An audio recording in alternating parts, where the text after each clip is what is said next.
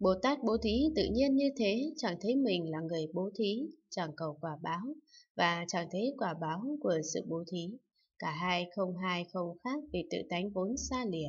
Nếu Bồ Tát tu học Bát Nhã Ba La Mật Đa thì có thể hành Đại Bi Thí Ba La Mật Đa, nghĩa là thấy hữu tình nghèo cùng, già bệnh, không có người cứu giúp, phát khởi tâm đại bi mà phát thể nguyện. Khi ta đắc vô thượng tránh đẳng tránh giác, làm chỗ nương tựa cho các hữu tình, vì các hữu tình nên đem chút căn lành hồi hướng Bồ Đề, cũng chẳng phân biệt mình là người cứu giúp, kia là người nhận lãnh, cả hai không hai không khác, vì tự tánh vốn xa lìa.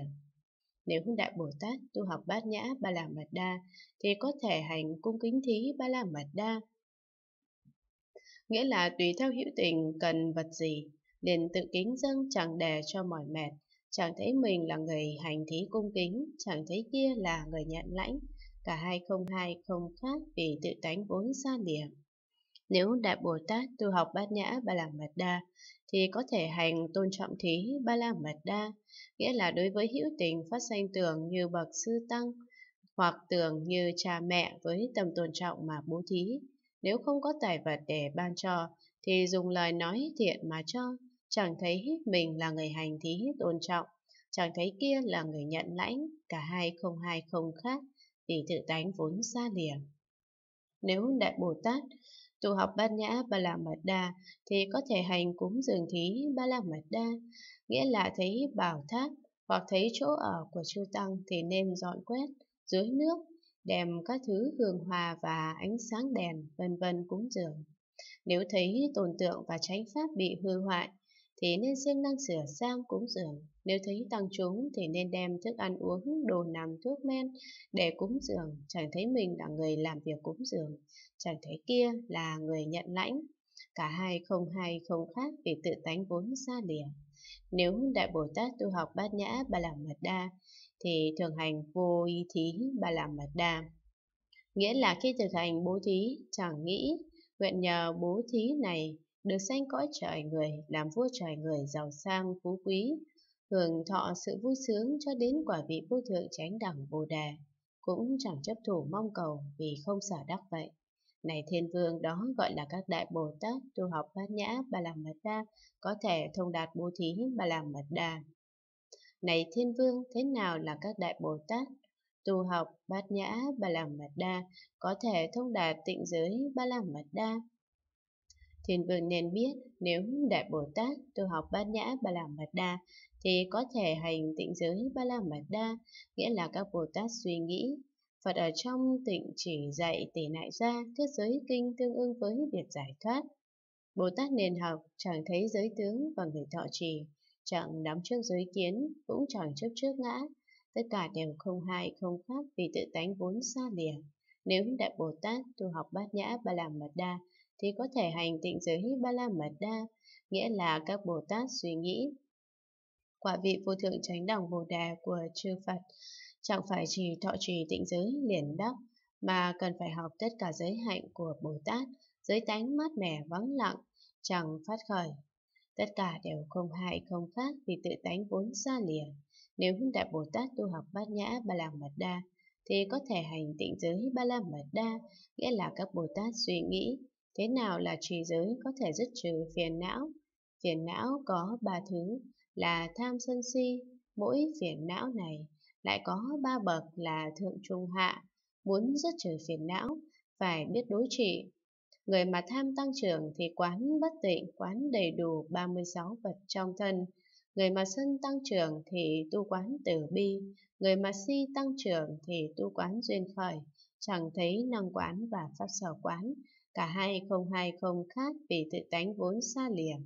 Nếu Đại Bồ Tát tu học bát nhã ba la mật đa thì có thể hành tịnh giới ba la mật đa, nghĩa là các Bồ Tát suy nghĩ thế nào là Bồ Tát phải xa lìa suy nghĩ bất tránh, là các Bồ Tát chẳng phát khởi tâm, mình hành tịch tịnh, hành ly, hành không, còn các sa môn, bà la môn vân vân khác đều ở chỗ huyên náo tạp nhiễm, chẳng ưa thích hạnh vắng lặng, thấy không hài không khác, biết tự tánh viễn ly liền có thể xa lìa tư duy bất tránh. Nếu Đại Bồ Tát học bát nhã ba la mật đa thì có thể hành tịnh giới Ba La Mật Đa, nghĩa là các Bồ Tát tuy biết các pháp viễn ly mà càng sợ các tội, như Phật đã dạy nên chỉ tịnh giới hít tù các phước nghiệp cho đến bát nhã Ba La Mật Đa. Đối với tội nhỏ thì phải mang một nỗi sợ to lớn, chẳng cho móng khởi, vì Thế Tôn dạy ví như thuốc độc, nhiều hay ít đều có hại. Nếu Đại Bồ Tát tu học bát nhã ba la mật đa thì có thể hành tịnh giới ba la mật đa nghĩa là các bồ tát thường sanh sợ hãi tương ứng với tín hạnh giả sử ở chỗ vắng vẻ đơn độc một mình không có bạn bè có sa môn vân vân đem các thứ vật báu như vàng bạc lưu ly chân châu gửi cho Bồ Tát. Bồ Tát không khởi tâm tham lấy các thứ đó mà suy nghĩ. Thế Tôn thường dạy, thà phải tự cắt thịt nơi thân mình mà ăn, chứ của cải của người không cho thì chẳng lấy. Nếu Đại Bồ Tát tu học Bát Nhã Ba La Mật Đa thì có thể hành tịnh giới Ba La Mật Đa, nghĩa là các Bồ Tát trì giới vững vàng nếu các ác ma và quyến thuộc của ma dùng sắc đẹp để thử Bồ Tát. Bồ Tát đối với sắc đẹp kia tâm chẳng dao động mà tư duy.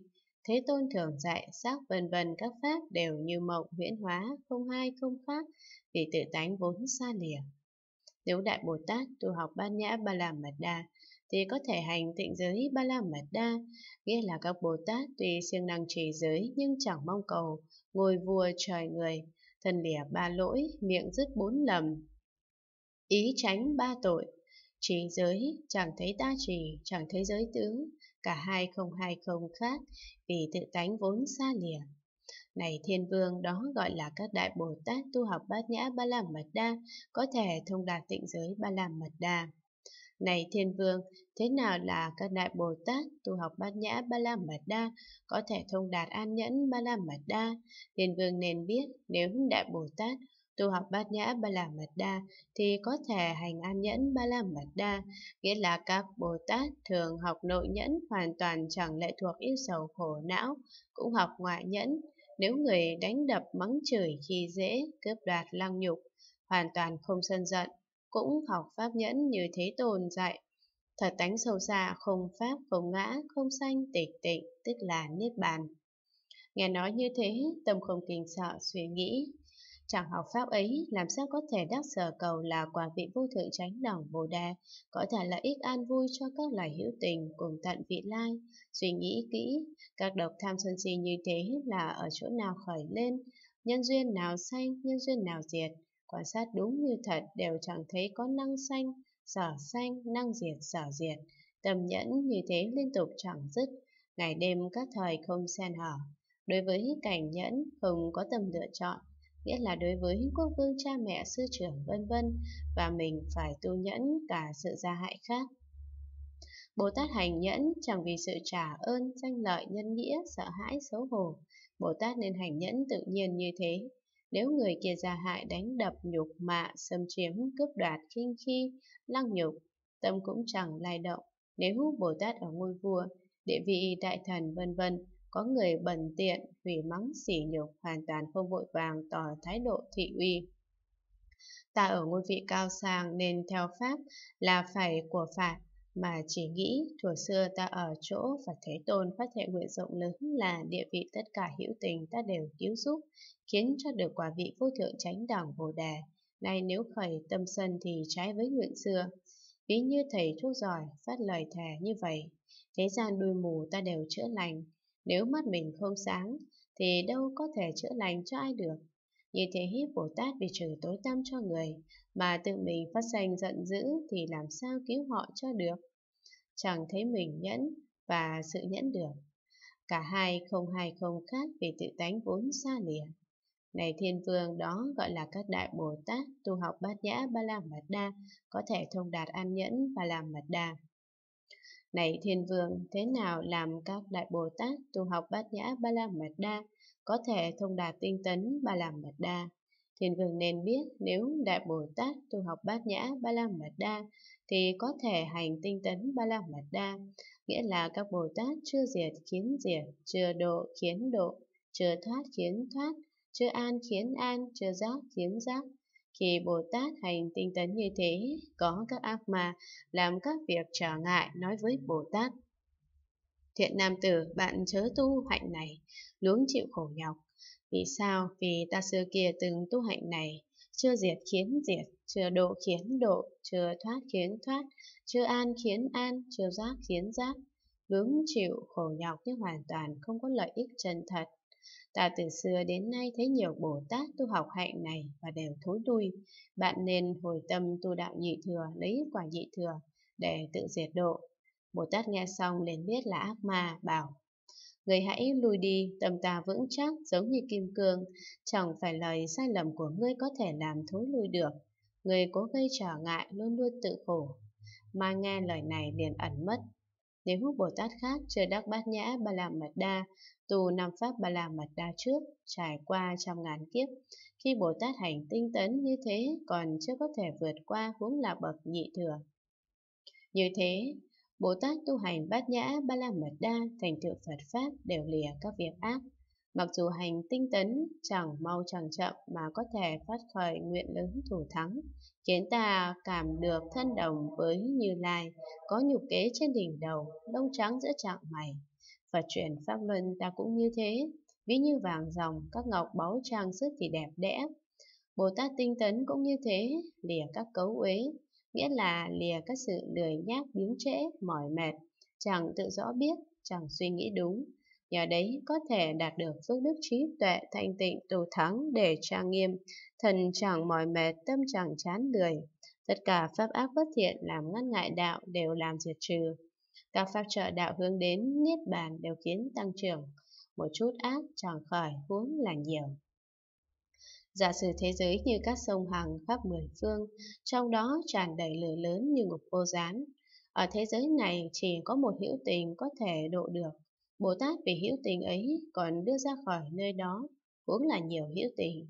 Các Bồ Tát này chẳng nghĩ quả vị vô thượng chánh đẳng Bồ Đề chẳng dễ đắc được. Bồ Tát tu hành như cứu đầu cháy, cần phải trải qua trăm ngàn ước kiếp. Gánh nặng như thế thật khó mang vác mà chỉ nghĩ chư Phật quá khứ hiện tại đều tu hạnh này, chứng đại bồ đề. Ta cũng như thế nên chính mình tu tập, thà trăm ngàn kiếp ở trong địa ngục độ thoát các hữu tình, chứ hoàn toàn không bỏ họ để mau tới niết bàn. Bồ Tát khi tinh tấn tu hành như thế, tâm chẳng tự cao, đối với người chẳng tự ti, chẳng thấy pháp năng hành và sở hành, cả hai không hai không khác vì tự tánh vốn xa liền. Này thiên vương, đó gọi là các đại Bồ Tát tu học bát nhã ba la mật đa, có thể thông đạt tinh tấn ba la mật đa.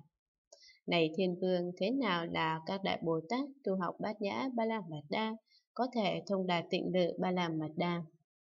Thiên vương nên biết, nếu đại Bồ Tát tu học bát nhã ba la mật đa, thì có thể hành tịnh lự ba la mật đa, nghĩa là các Bồ Tát trồng sâu căn lành, đối với đại thừa đời đời kiếp kiếp tu nhiều diệu hạnh, gần gũi bạn lành, chẳng sanh trong nhà bần tiện, tà kiến, vân vân, thường sanh trong dòng họ sát đế lợi và la môn, vân vân, tránh tín tam bảo, tăng trưởng pháp lành. Nhờ căn lành đời trước phát khởi ý nghĩ, hữu tình ngày đêm trôi lăn các nẻo, luân hồi trong khổ chẳng dừng, đều do tham ái. Bồ Tát nghĩ xong khởi tâm nhàm chán xa lìa, biết từ hư vọng phân biệt mà có. Trong kinh Thế Tôn dùng vô số phương tiện giảng thuyết, Tội lỗi của dục như gươm dài, mâu ngắn, như dao, như rắn, như bọt, như bèo, như nhớp bất tịnh, thay đổi vô thường. Vì sao người trí lại tham đắm pháp này? Vừa cạo râu tóc xuất ra tu đạo, chưa thấy cho là thấy, chưa đắc cho là đắc, chưa chứng cho là chứng. Phải nghe thuyết thọ trì, hoặc thế tục đế, hoặc thắng nghĩa đế, như thật tu hành, như pháp quán sát, đó là tránh kiến, tránh tư duy, tránh ngữ, tránh nghiệp, tránh mạng, tránh tinh tấn, tránh niệm, tránh định, xa lìa huyên náo tạp nhiễm, chẳng màng danh dự, cũng chẳng cầu cung kính cúng dường. Thần tâm tinh tấn thường không lười bỏ, tư duy tâm này phần nhiều đi cảnh nào, là thiện, là ác hay là vô ký. Nếu đi cảnh ác thì tức tốc chấm dứt, nếu đi vô ký cũng nên rời bỏ. Nếu đi cảnh thiện thì lập tức siêng nặng tinh tấn, cố gắng làm cho tăng trưởng căn lành thù thắng. Vì muốn đối trị pháp ác bất thiện nên đưa ra 37 pháp Bồ Đề.